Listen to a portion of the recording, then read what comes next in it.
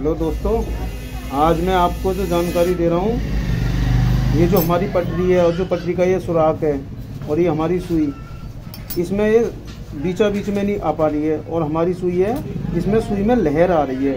तो जब तक इसकी जो लहर है वो ख़त्म ना होगी तो हमारी मशीन सुई तोड़ेगी, क्योंकि मोटा कपड़ा आएगा तो उसमें सुई तोड़ेगी ज़रूर। तो इसमें क्या है कि हमको इस सुई का मिलान और इस पटरी का जो ये सुराख है, इसका मिलान एकदम बीचा बीच में लेके आना है। और वो कैसे लेके आना है? हम आपको दिखाते हैं वीडियो में, आखिर तक देखना।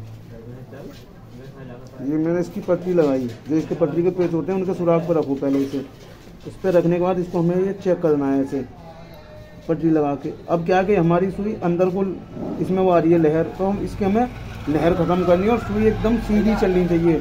तो इस पर क्या कि पहले मैं इसमें एक चोट ये लगाता हूँ, बाहर से। ये मैंने सुई इसकी बाहर करी, अब इसको हम चेक करते हैं। तो क्या है कि इसमें अभी और लहर है।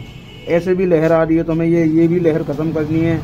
जितनी भी लहरें आएँगी, वो हमें ख़त्म करनी है इसमें। अब इसमें पहले हमें इसमें बाहर को लेके आनी है तो वो हमें चोट अंदर से लगानी है इस पर चुटकी पे।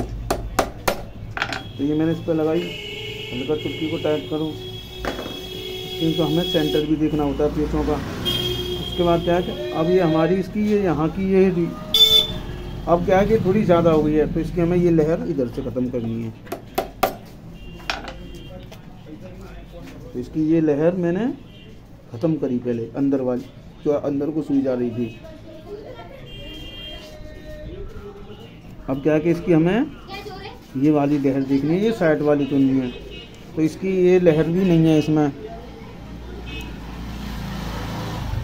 तो इसकी ये लहर तो ख़त्म कर दी थी सुई ऐसे आ रही थी अंदर को। तब ये एक ना ऐसे जा रही, ना ऐसे जा रही, ना ऐसे जा रही है, ना ऐसे जा रही। अब ये कि हमारी सुई एकदम बीच बीच में सुराख के बीच में चल रही है तो इससे क्या है कि हमारी मशीन की जो सुई टूटती है, जो सुई में लहर की वजह से तो वो सुई टूटना बंद हो गई ना ये पटरी के सुराख पे जाएगी कहीं भी, अंदर जाएगी सीधे आराम से। तो ये इतना था वीडियो, और आपको अच्छी ज़रूर लगेगी, आप देखना पूरी वीडियो।